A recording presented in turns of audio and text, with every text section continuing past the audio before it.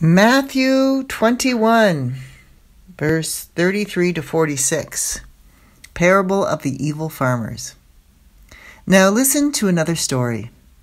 A certain landowner planted a vineyard, built a wall around it, dug a pit for pressing out the grape juice, and built a lookout tower. Then he leased the vineyard to tenant farmers and moved to another country.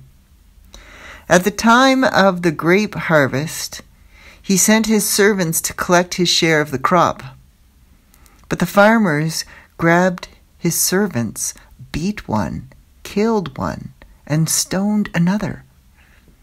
So the landowner sent a large group of his servants to collect f- for him, but the results were the same. Finally, the owner sent his son, thinking, Surely they will respect my son. But when the tenant farmers saw his son coming, they said to one another, Here comes the heir to this estate. Come on, let's kill him and get the estate for ourselves.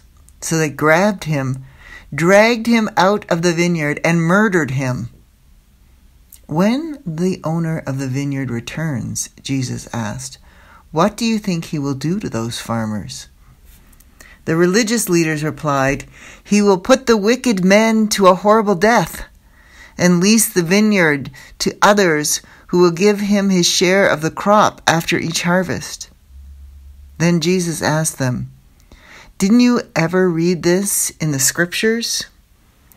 The stone that the builders rejected has now become the cornerstone. This is the Lord's doing, and it's wonderful to see. I tell you, the kingdom of God will be taken away from you and given to a nation that will produce the proper fruit. Anyone who stumbles over the stone will be broken to pieces, and it will crush anyone it falls on.